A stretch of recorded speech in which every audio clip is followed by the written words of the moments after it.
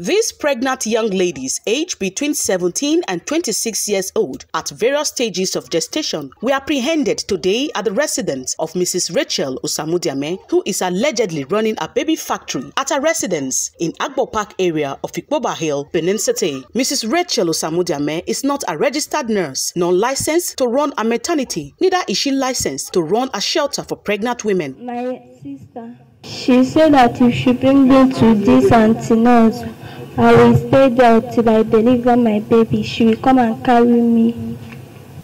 But sometimes if I see that the case, the case is not, this case is uh, weak, I'll take them to UBT. I'll take them. Your name again? No, I will just take them there. No, that I have me. Madam, just they stay them. with you? Sometimes they stay with me, sometimes they just stay with me. Osagede. Her Excellency Betsy Obaseki briefed newsmen on the circumstances of her arrest.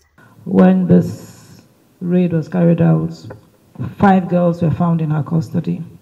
I believe four or five of them pregnant, and um, one actually just had a baby today. Thank God this raid was carried out before that girl was due to have a baby.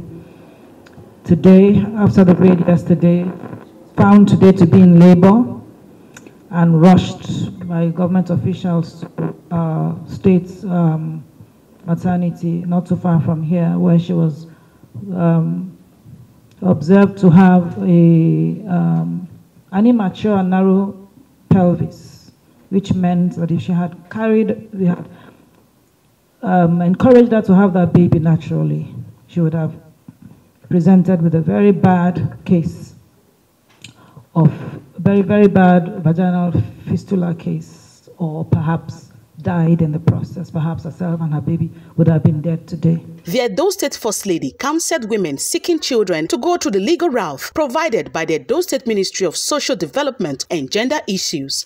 The people out there who, who, who encourage this kind of business, encourage people to, to get women pregnant, girls pregnant, have babies so they can adopt them, or whatever it is you people do with these babies.